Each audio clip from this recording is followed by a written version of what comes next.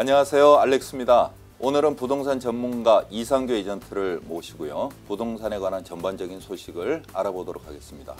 우리 이상교 에이전트는 미주 한인 최대 부동산 회사 뉴스타 부동산에서 부사장님과 그리고 발렌시아 지점의 지점장님으로 어, 일하고 계십니다. 자, 인사님 안녕하십니까? 네, 반갑습니다. 예, 반갑습니다. 자, 인사님. 어, 지난 4월 14일 일본 구마모토에 인해서 큰 지진이 발생을 했거든요. 제가 제 기억으로는 아마 한 7.0의 그러한 이제 강진이었는데 그 당시 사망자 수가 한 66명 그리고 부상자는 1,469명에 달하는 그런 큰 지진이었습니다. 아직까지도 재산 피해가 집계되지 않을 정도로 천문학적인 그런 숫자의 피해를 입었는데요. 인생은 어떻게 보십니까? 그래도 어, 다행스러운 거는 네네. 진앙지가 예, 예. 어, 내륙이었기 때문에 쓰나미가 이제 오지 아, 않았죠. 쓰나미. 예. 아유, 예, 예전에 예. 그 쓰나미에 대한 그 트라우마가 있는데 네네. 예, 그 다행히- 2011년 그렇죠. 말씀하시는 예, 거죠? 다행히 이제 네네. 지진이 이제 근데 이제 그 지진이 얼마나 그 위력적이었냐면요. 네네. 남한 전체에서도 그걸 느낄 수 있을 아, 정도로 한국에서? 한국에서 아, 그래요? 심지어 서울까지. 어. 근데 지금 또 20일이 지났는데도 네네. 어, 한 지금 한 3.9 3.9 정도의 여진이 여진들이. 있었고 가장 최근에 아. 예, 그다음에 또 1080회 강한 고 약한 그런 여진이 여진이. 계속됐습니다. 예. 1080회 정도. 어, 예. 아, 예, 저도 제가 아는 지인도 어, 부산 쪽 그리고 경기도 쪽에 살고 있었는데도 좀 여진을 좀 느꼈다고 이야기를 하더라고요. 네, 네. 자, 그런데 인생님, 자 일본 지진이 어, 4월 14일 날 일어난 이후에 자, 이제 남미 쪽, 남미 쪽 그 에콰도르에서도 7.8의 강진이 일어났습니다. 그런데 하나 신기한 것은 신기하다는 표현을 좀 차이점이 나는 건 뭐냐면 일본에 7.0이 났었고 다음에 에콰도르에 7.8이 났었는데 일본의 사망자는 66명, 에콰도르의 지진 피해로 인해서 사망자는 약 660명이었습니다. 그러니까 비율로 따지면 약 10분의 1밖에 지진 일본은 사망자 수가 적었고요. 다음에 에콰도르는 그게 10배가 달하는 660명의 사람이 이제 어, 지진으로 인해서 이제 목숨을 잃었는데 참 아까운 목숨들이 잃었어요. 그런데 에콰도르의 집들은 내진 설계가 되어 있지 않아서 큰 피해를 입었다 이런 보도가 있는데 그건 어떤 이야기입니까?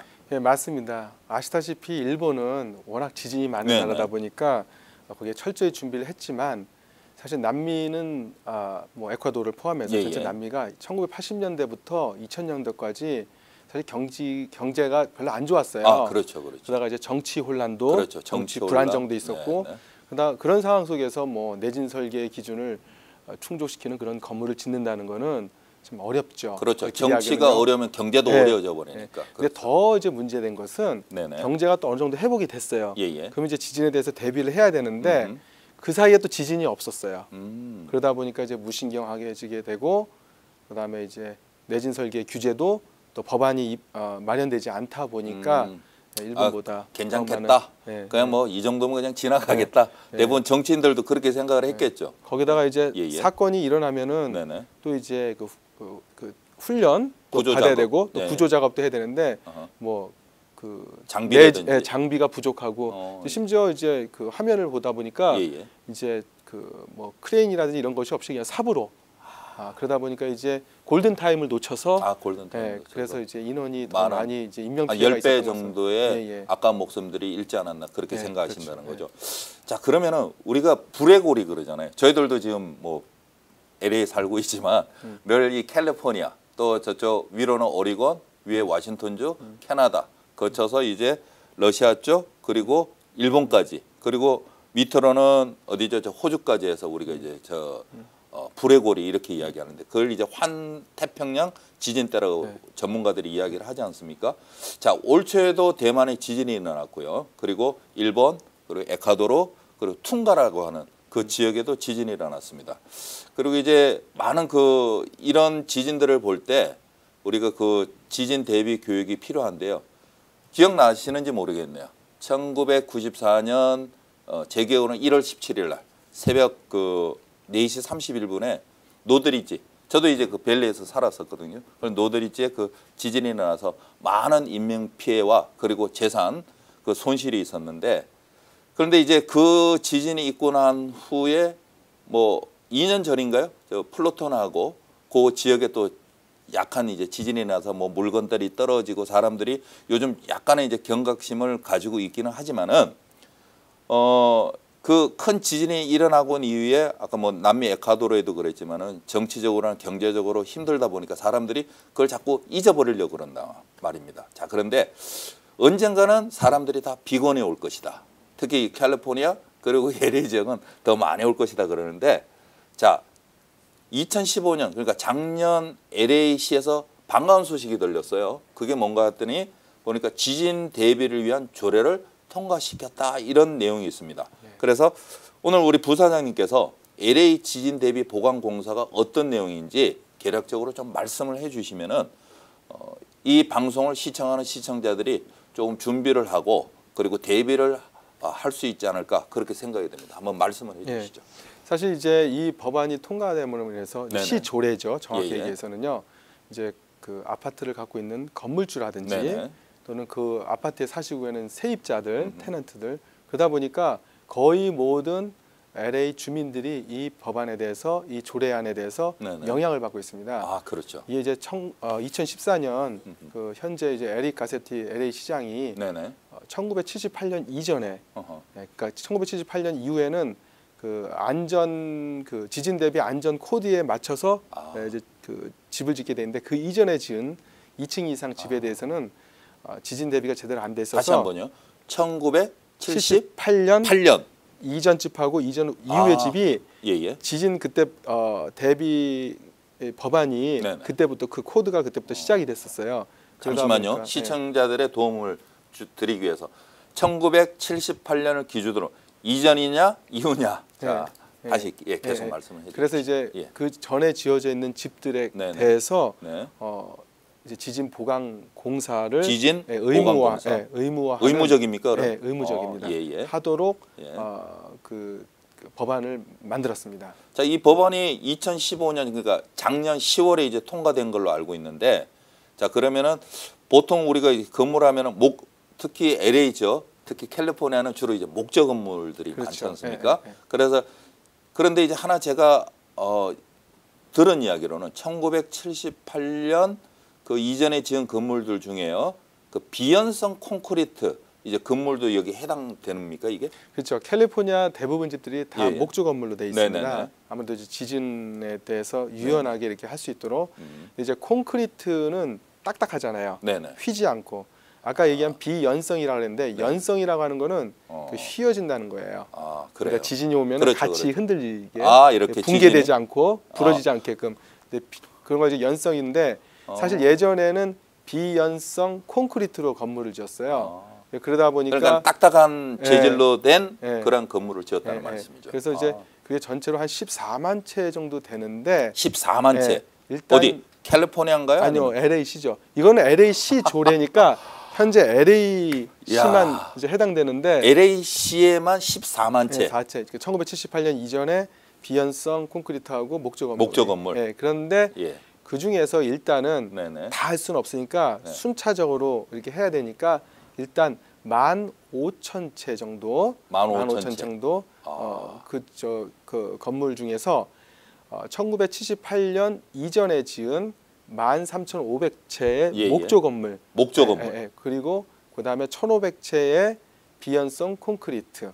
어. 네, 그러다 보니까 한인타운에 예, 예. 있는 그 다음에 LA 다운타운에 있는 옛날 아파트들은 다 해당된다고 볼 수 있습니다. 그래요? 거의 모든 아파트들. 네. 어, 와, 거의 다 해당되는군요. 그러니까 4유닛 이상 아파트. 4유닛 그리고 이상. 예. 3유닛 있을 겨- 경우에는 어, 그 주, 어, 테넌트가 살아 있, 살고 있으면은 그것도 해당이 돼요. 아, 예, 테넌트가 예, 살고 예. 있으면 그러니까 일단 어, 4유닛 이상은 그렇군요. 다 해당된다고 야, 보시면 되고. 심각한 그 문제 직면을 했는데 자 사연이 하나 와- 들어와 있네요. 저 오늘 또 벨리에서 왔습니다. 자 벨리에 사시는 그 데이빗 김선님께서 이런 질문을 주셨어요. 자 지금 비용이 자, 이게 보강공사라고 막 지진 대비 보강공사를 하려면 비용이 만만치 않을 것 같은데 자 건물주들이 이 본인도 이제 건물을 가지고 계시는 모양입니다. 건물주들이 이 조례안에 대해서 많이 신경을 쓰고 있는지요? 이런 질문을 보내주셨습니다. 예. 금방 말씀하신 대로 예. 적게는 뭐 유닛이 작은 거는 한 수천 달러, 수만 유닛 달러가. 됐지만은 어허. 유닛이 큰 건물 같은 경우는 뭐 수십만 달러가 소요되는 제가 막대한 금액이 이거는. 제가 어, 시청자분들께 도움이 될지 몰라서 그런데 에큐티 빌딩 아시죠? 요게 네. 윌체어. 네. 저게 한 제가 알기로는 공사 비용이 한 700만 불 정도 나온 걸로 지금 알고 있는데 맞습니다. 그러면 엄청난 비용이 발생하게 되는군요, 그게. 예, 예.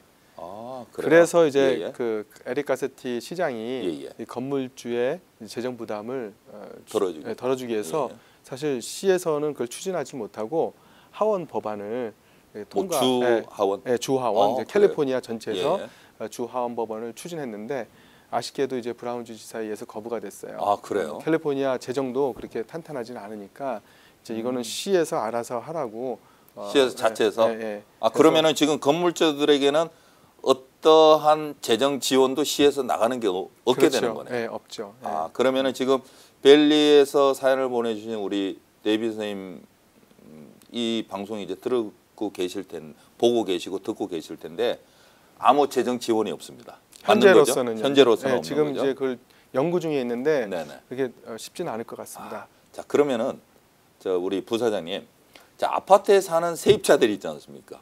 지금 LA 인근에도 아파트에 사시는 분들이 굉장히 많으신데 그분들에게도 제 생각으로는 영향을 줄 것 같아요. 자 그리고 그 영향을 받으면 어, 지진 대비 봉 대비 공사를 하기 위해서 건물주들도 많은 영향을 받고요. 그래서 이제 그렇죠. 그들이 이 비용을 아마 제 생각으로는 테넌트들에게 떠넘기지 않을까 이런 생각을 하는데 어, 어떻게 생각을 하십니까? 그래서 이제 그동안 네네. 건물 소유주 협회, 아 건물 소유주 협회, 네네. 그다음에 세입자 그룹이 아, 있었어요. 그렇죠. 그래서 이 네네. 문제로 상당히 이제 대결 어, 대립을 했었죠. 네네네. 그러다 이제 결국 이제 건물주와 세입주가 음흠. 어, 반반씩 반반씩. 예, 부담하는 거로 일단 시의회에서 통과를 했습니다. 아 그래요. 예, 그래서 이제 건물주는 앞으로 어, 10년 동안 10년 동안. 예, 매달 10년입니까? 네, 10년 동안 어. 어, 매달 어, 월 최대 어, 38, 월이에요? 예? 월? 네, 월 어, 네, 월. 매월. 매월 38 per month 38불을 네, 38불까지. 까지. 그러니까 비용이 그렇게 안 나오면은 뭐 20불이 될 수도 있고 어허. 뭐 15불이 될 수 있는데 어쨌든 어, 최대 맥시멈으로 38달러까지 인상을 어, 할수 있는 어, 그런 길이 열렸습니다. 아 그래서 그래요. 그 건물 어, 보강 비용을 이제 청구할 수 있게 됐죠 세입자에게요. 그럼 매달 세입자들이 최대 38불까지 매달 내야 되면은 네. 약 돈이 거의 한 400, 한 50불을 더 1년에 지출을 해야 된다는 그렇죠. 얘기네요. 그럴 아, 이- 어, 이제 여지가 많이 그러니까 렌트비가 그렇지 않아도 많, 많이 올라갔는데 네네. 이제 더 올라가다 보니까 이제 건물주는 건물주대로 이제 테넌트는 테넌트대로 이제 재정적인 부담이 더 올라가게 됐죠. 하지만 예. 아무래도 금방 말씀하셨듯이 지금 지진이 당장 눈에 보이지는 않지만은 음. 어, 앞으로 다가올 어, 위험이기 때문에 또 안전 문제고 음. 또 인명에 관한 문제이기 때문에 어, 그, 그 비용을 어째 사회적 비용이라고 이제 볼 수가 없죠. 아, 그럼 없죠. 제가 네. 이 시간에 공개적으로 어, 그 캘리포니아 주지사 브라인 주지사에게 제가 부탁을 좀 드려야 되겠습니다. 우리 시에 LA시에 어, 지진 보강 공사 지원을 좀 부탁을 드립니다. 제가 잘했죠. 예, 잘하셨어요. 사실 예. 어, 이 LAC가 되게 선제적으로 네네. 이 일을 좀 추진하고 있거든요. 네네. 어, 1978년 이전에 지은 아파트들이 LA에만 있는 게 아니에요. 그렇죠. 어, LA 주위 또는 다른 캘리포니아의 많은 도시들이 그래서 그 이 케이스를 지금 주목하고 있어요. 아, 어떻게. 성공적으로 잘 되고 있는지. 예. 비건이 오지 어, 말아야 되겠지만은 예. 혹시 오더라도 인명 피해를 줄일 그렇죠. 준비를 해야 되니까 늘 예, 대비를 예, 하고 예. 준비를 하는 사람만이 그런 사람이 또 지혜로운 사람이고 지혜로운 지혜역이 아닐까 생각을 합니다. 사회적 비용이라고 할 수가 그렇죠. 있죠. 자 여기 또 한 사연이 왔습니다. 어, 저 플로톤에 사시는 미세스 리께서 보내주셨는데요. 자 그럼 어떤 건물들이 구체적으로 영향을 받게 되는지요? 어, 한 15,000채라고 하셨는데 어떤 영향을 받게 되는지 말씀을 해주세요. 일단 시에서. 어, 당장 해야 될 아, 리스트가 네네. 만 5초채로 이제 나온 15,000. 거예요. 현재로 이제 어, 전체로는 한 14만 채라고 예, 말씀하셨죠. 이제 실질적으로 이제 지진 보강 예. 제대로 하려면 한 14만 채 정도 네네. 이르는데 그 중에서 어, 15,000채 올 2월 말부터 네네. 벌써 공문을 어, 보내기 시작했습니다. 그래서 벌써 이미 받은 분들도 계실 거예요. 음.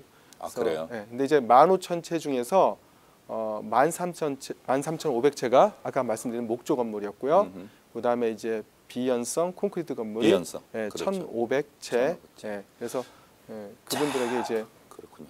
음, 공사를 지금 이제 그렇게 이제 통지가 네. 자 건물주들이 이제 통지를 받았어요. 이, 이 레러를 지금 받았습니다. 자 받았을 때 건물주들이 어떤 절차를 밟아야 되는지 간단하게 좀 설명을 해주시죠. 예, 일단 통지를 받게 되면은요. 네네. 어, LA시에서 정해놓은 그 지진 보강 공사 그 건물 우선순위가 있어요. 아 우선순위. 예, 근데 이제 네. 보통 이제 어느 분이 먼저 받게 되냐면은 음흠. 일단 16유닛 이상 이상 되는 목조 건물 아파트가 가장 아파트 먼저 받게 되고요. 대부분 다 목조 아파트니까. 예, 예. 아 그렇군요. 왜냐하면은 저희가 갖고 있는 resource가 정해져 있어요. 음흠. 이 지진 보강 대상 할 수 있는 건설 회사도 네네. 정해져 있고 전문 회사도 또 architect 음. 어떻게 지진 보강을 해야 되는 해야 되는 architect resource가 정해져 있으니까 동시에 다 할 수는 없어요. 네네. 그래서 우선순위 가장 취약하고 시급한 부분들 음. 그래서 16 16 유닛 이상 그 다음에 그 다음에는 이제 3층 이상 높이의 건물들이 통보를 건물들. 받게 뭐 되고요. 커머셜도 해당될. 그렇죠. 그렇죠. 네. 그 다음에 이제 마지막으로 이제 나머지 건물들이 통보 대상입니다. 그 15,000제 중에서요. 자 그러면 윤 쌤이 이것을 지금 이제 레러를 받았어요. 통지서를 받은 날부터 이걸 이제 뭐 아까 10년도 이야기하시고 했는데 그게 집일 수도 있고 커머셜일 수도 있고 다를 텐데 만약 통지서를 받은 날부터는 어떻게 해야 되는지. 일단은 네. 본인 건물이 네네. 이게 지진 보강을 꼭 필요로 하는지 음흠. 이미 벌써 돼 있는지 왜냐하면은 네네. 1978년 이전에 지었다 하더라도 그 이후에 음흠. 어, 또 보강 공사를 아, 그렇죠. 했을 수도 있으니까요. 네네. 근데 건축학적으로 이제 안전하다든지 음.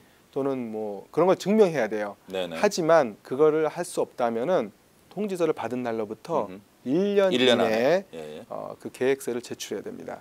동의 그 동의서도 필요하죠. 그렇죠. 동의서. 동의서, 계획서를 예, 예. 이제 제출해야 되고. 그 다음에 예. 2년 후에 네네. 이제 그 2년 안에 네네. 어, 공식적인 공사 허가를 받아야 돼요. 2년 안에. 네, 1년 안에? 계획하고 어허. 2년 그러니까, 그러니까 2년 동안 계획을 해서 그 건축 허가를 받아야 돼요. 2년 안에 공식 허가를 받고 그러니까 네. 1년 안에 동의서와 계획서 제출하고 네. 2년째 되는 해까지 공식적인 허가를 받고요. 그다음에요. 그 다음에 공사를 시작해서 음흠. 7년 안에 공- 모든 공사를 마쳐야 됩니다. 아, 그래서 아까 10년이라 그러셨군요. 네. 맞나요? 예, 예, 아, 맞습니다. 예, 예. 예. 아, 그러면은 만약에 통지서가 분실이 됐어요. 그러면은 그 건물주가 책임이 없나요? 받지를 아니요. 못 했는데. 이 우리 그 재산세도 마찬가지잖아요. 네네. 받지 않았다고 그 재산세를 안 내면은 음흠. 바로 페널티를 물잖아요. 아, 그렇죠. 그래서 이 통지서를 받게 되면은 바로 액션을 취해야 되는데 음. 만약에 못 받았고 어, 내게 어 뭐 이게 해당되는지 안 했는지 좀좀 음. 아, 불확실하다 그러면은 우리 아시잖아요. 311 네네. 예, 그 LA 311. 예, 311에 전화하셔 갖고 예, 예. 그 LA DBS라고 있어요. DBS. 예, 디파 LA Building Safety. DBA입니다. 예, DBA. 예, 거기에다가 전화를 하셔서 예, 예. 알아보시는 게 좋아요. 예. 예. 우리가 가- 이제 그 예. 대상 여부가 되는지. 오케이 감사합니다. 예, 예. 지금 급하게 이제 카톡으로 어, 사연이 왔어요. 자 콘크리트 건물도 보강 공사를 해야 한다고 하는데 만약 하지 않으면 철거해야 한다고 들었습니다. 콘크리트 건물에 대해 말씀해 주시오. 예. 이렇게 돼 있습니다. 사연이. 예. 아까 말씀드린 대로 예. 이제 비연성 콘크리트 건물 있고 연성 콘크리트 네네네. 있는데 거의 다 비연성 콘크리트입니다. 비연성, 예, 예. 딱딱한 예, 건물, 예, 예, 아, 예. 재질로 된. 지진이 나면은 네네. 같이 흔들리지 못하고 그냥 부러져 버리고 붕괴가 됩니다. 음. 근데 만약에 어, 1970 이건 또 1977년이에요. 아, 아까 77년, 목조 건물은 78년 그러니까 78년이었는데 어허. 이 비연성 콘크리트는 77년 이전에 이전. 건축 허가를 받은 비연성 콘크리트 아, 건물도 그렇군요. 해당되기 때문에 음. 이게 뭐 지진에 의해서 같이 움직여야 되는데 같이 움직이지 않기 때문에. 빨리 이제 이걸 해야 돼요. 아 그래요. 예, 예, 자 그러면은 어 조금 전에 그 목조로 된 거는 1년 안에 공사 동의서, 다음에 네. 공사 허가 7년 안에 해야 되는데 이것은 통지를 받은 후에 어떻게 해야 됩니까? 이제 비연성 콘크리트는 공법상으로 목조 예. 건물보다 좀 까다로워요. 예, 예. 그러다 보니까 3년 정도 시간을 줘요. 네네. 그래서 3년 안에 보강 계획서를 제출해야 되고 네네. 퍼밋과 평가서는 10년 안에 10년, 3년, 10년. 예. 그다음에 그리고 25년 안에 공사를 완료됩니다. 아, 그럼 비연성 콘크리트는 total 기간이 25년이고요. 예, 예. 다음에 목조로 된 거는 10년 안에 예. 다 완료하면 되겠네요. 왜냐하면 비연성 콘크리트의 음. 경우는 대체로 이게 소- 소규모 아파트가 아니라 네네. 대규모 그렇죠. high-rise. high-rise. 예, 예. 그러다 보니까 어, 규모가 크다 보니까 이게 빠른 시일 내에 할 수가 없기 때문에 네네. 어, 시간을 좀 더 많이 주는 겁니다. 자, 부사장님 이제 시간이 거의 다 돼가는 것 같은데 하나 더 제가 질문을 좀 할까 합니다. 비용이 이제 만만치 않잖아요. 규정도 까다로울 테고. 자 그러면은 일단 내 건물이 지진 보, 어, 보수공사 이제 대상으로 확정이 됐어요. 예를 들어 확정이 되면 그 다음 이제 어떻게 되는지 한번 네. 좀 그러면 간단하게 일단 말씀해 주세요. 아까 네네. 말씀하신 대로 네. 1년 이내에 네네. 그다음에 2년 이내에 이제 1년 이내에 이제 확인을 하고 네네. 계획하고 이제 2년 이내에 퍼밋 받고 공사를 해야 되지만은 네. 먼저 중요한 거는 테넌트한테 세입자에게 먼저 이 건물이 어, 이번에 지진 보강 대상 어, 확정 통보를 받았고 통보를. 앞으로 어떤 어떤 어떤 그 시간의 타임 스케줄을 네네네. 수시로 어, 테넌트한테 알려줘야. 테넌트들에게 그걸 네. 디스크로저를 다 해줘야 되는 거죠. 그렇죠. 예. 아 그렇죠. 왜냐하면은 음흠. 공사를 할 경우에 어떤 그 성격에 따라서 어떤 경우는 세입자가 있, 있, 있는 상황에서 공사를 할 수 있지만. 없는 상황에서도 공사를 아, 해야 될 수도 그렇죠. 있거든요. 그래서 그렇군요. 그게 좀 약간 되게 까다롭고 복잡해요. 그래서 음. 어, 그래도 어, 랜드로드는 그 건물주는 세입자에게 어, 먼저 통보를 해야 되고요. 만약에 공사 때문에 세입자가 이사를 해야 되면요, 이사 비용도 보조를 해야 됩니다. 아, 네. 그 건물주가 예, 예. 아, 알겠습니다. 자, 아, 자 이제까지 어, LA시 의회 그러니까 2015년에 통과된 지진 보강 공사 의무화에 대해서 이상규 부사장님과 함께 알아보았습니다. 자, 오늘도 좋은 정보 너무 감사드리고요. 그리고 지금까지 함께 시청해 주신 여러분께 감사를 드립니다. 자, 그러면은 궁금하신 점들이 있으시죠? 아, 여러분이 궁금할 때 어, 특히 부동산에 관한 전반적인 질문이 있으실 때 꼭 전화해야 될 곳이 있습니다. 누굴 것 같아요? 바로 이상규 부사장님. 그분에게 이분에게 꼭 전화를 주시는데요. 제가 오늘 전화번호를 소개하는 것보다 부사장님께서 직접 한번 소개를 해주시죠. 다시. 예, 어, 뭐 주택의 매매라든지 상가 매매라든지 아니면은 뭐 그 부동산에 관한 어떤 상식이라든지 네. 절차를 어, 알고 싶으시면은 제 전화번호가 818에 439에 8949입니다. 818-439-8949이거든요. 언제든지 전화 주시면 어, 성심성의껏 도와드리겠습니다. 자, 제가 여기서 하나 더 팁을 드립니다. 다시 한번 저희가 좋은 목소리로 818-439-8949 이상규 에이전트, 이상규 부사장님을 찾아주시기를 부탁을 드립니다. 오늘도 너무 좋은 정보 감사를 드리고 다음 시간에도 나오셔서 더 좋은 소식으로 저희들에게 기쁨을 주시기를 부탁을 드립니다. 감사합니다. 감사합니다. 네, 감사합니다. 감사합니다.